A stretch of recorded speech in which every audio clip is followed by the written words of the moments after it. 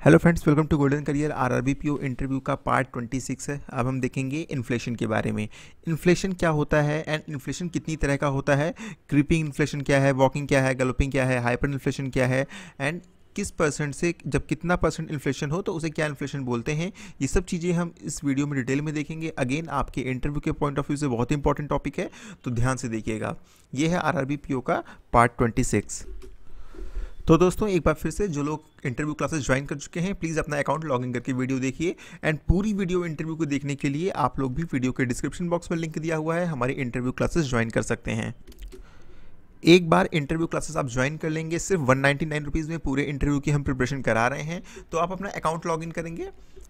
ऐसे account login करेंगे। जब अकाउंट लॉगिन करेंगे तो दोस्तों click here to download complete book for interview preparation ये पीडीएफ पूरी पढ़ लीजिएगा, बहुत इंपॉर्टेंट है। डाउनलोड करने में कोई इशू आ रहा है तो प्लीज़ पेज को रीलोड करिएगा रिफ्रेश करिएगा। ये पीडीएफ डाउनलोड करिएगा 150 पेजेस की है, बहुत हेल्पफुल है। एंड ये वो सारी वीडियोज़ स्टार्टिंग से हैं, जो आपको देखने को मिलेंगे। ये सारे वीडियोज़ यहाँ पर देखने को मिलेंगे। साथ में जो हम डेली वीडियोज़ अपलोड कर रहे हैं, वो भी फुल लेंथ वीडियोज़ आपको यहाँ पर देखने को मिलेंगे। चलिए, अब हम देखते हैं अपना टॉपिक इन्फ्लेशन क्या है और कितने टाइप के इन्फ्लेशन होते हैं। तो इन्फ्लेशन है क्या? इन्फ्लेशन हिंदी में महँगाई। ठीक है, महँगाई क्या है? सबको पता होगा आई थिंक कि इन्फ्लेशन एक्चुअली होता क्या है। देखिए इन्फ्लेशन को डिफाइन करने के लिए अलग अलग इकोनॉमिस्ट ने अलग अलग चीज़ें बनाई बताई। ठीक है, कुछ ने बोला इन्फ्लेशन मतलब है rise in supply of money in market ठीक है? किसी ने बताया rise of cost of goods and services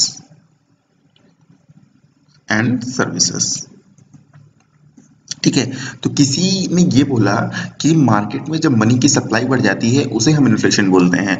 और किसी ने ये बोला कि जब जो गुड्स एंड सर्विसेज़ ऑफ़र कर रही है एक कंट्री उसकी जब प्राइस बढ़ जाती है कॉस्ट बढ़ जाती है, उसे हम इन्फ्लेशन बोलते हैं। तो एक्चुअली ये दोनों बात ही सही है। ठीक है? मैंने आपको मॉनेटरी पॉलिसी की वीडियो में ये बताया था कि चीज़ें घटती बढ़ती कैसे हैं, महँगाई घटती बढ़ती कैसे है, या आरबीआई महँगाई को कैसे कंट्रोल करती है? कैसे आरबीआई कैसे कंट्रोल करती है? आरबीआई मार्केट में पैसे का फ्लो रोक के, कम करके, ज़्यादा करके ही महँगाई को घटाती और बढ़ाती है। क्यों? भाई, जब आपके पास पैसे ही नहीं होंगे, आप सामान खरीदोगे क्या? ठीक है, कोई सामान खरीदोगे तो उसके लिए आपके पास पैसे होने चाहिए, ठीक है? देखिए रिसेंटली अभी क्या हुआ था? अभी भी है, वैसे अनियन का प्राइस बहुत ज़्यादा बढ़ गया था, ठीक है, बहुत ज़्यादा बढ़ गया था। तो प्राइस कैसे कम आता है? दो ऑप्शन है। या तो आपके पास पैसे कम हो जाए, ठीक है? आपके पास जब पैसे ही नहीं होंगे तो आप प्याज खरीदोगे कैसे? और जब आप खरीदोगे नहीं तो मतलब इसका सीधे ही हुआ कि डिमांड हो जाएगी कम। डिमांड कम हो गई तो दुकानदार क्या करेगा? भाई, कोई ले ही नहीं रहा है, प्याज खराब हो जाएगा, इससे अच्छा कम दामों पे बेच दिया जाए। प्राइस डाउन हो गई तुरंत। अगर डिमांड कम हो गई, आपके पास पैसे ही नहीं है तो फिर आपकी जो प्राइस है, वो गिर जाती है, ठीक है? दूसरा ऑप्शन ये है कि सप्लाई बढ़ा दी जाए, ठीक है? अगर सप्लाई बढ़ा दी गई, जितनी नीड है, उतनी सप्लाई बढ़ा दे तो भी महँगाई जो है मैनेज हो जाएगी। तो एक्चुअली पैसे से ही कंट्रोल होता है। किसी चीज़ की बहुत सस्ती कीमत है। मान लेते हैं पोटैटो की कीमत टू रुपीज़ के जी पर के ठीक है? लेकिन अगर सब, इससे मार्केट में अगर पैसा बढ़ा दिया जाए, लोगों के पास पैसा बढ़ जाएगा तो वो लोग खूब मात्रा में पोटैटो खरीदेंगे। अब जितनी नीड नहीं है उससे ज़्यादा भी खरीद लेंगे, ठीक है? तो अल्टीमेटली पैसे से डिफाइन होता है, ठीक है, कितना पैसा है, आपके पास इस चीज़ से डिसाइड हो जाता है कि इन्फ्लेशन कितना होगा, ठीक है? तो महँगाई क्या है, ये सब लोग समझ गए होंगे कि महँगाई से इन्फ्लेशन रेट से ये भी डिसाइड होता है कि कोई देश है उसकी महँगा इन्फ्लेशन रेट वहाँ का क्या है ईयरली तो उससे ये डिसाइड हो जाता है या उससे ये पता चल जाता है कि मार्केट में पैसा कितना भेजा जा रहा है, उस देश के पास पैसा किस ग्रोथ रेट से बढ़ रहा है पैसा?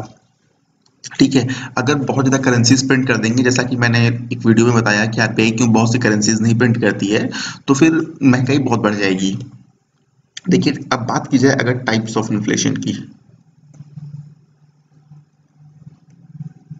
ठीक है फ़र्स्ट होता है क्रीपिंग इन्फ्लेशन क्रीपिंग इन्फ्लेशन देखिए क्रीपिंग इन्फ्लेशन किसी भी कंट्री के लिए बहुत अच्छा होता है, बहुत ही अच्छा होता है।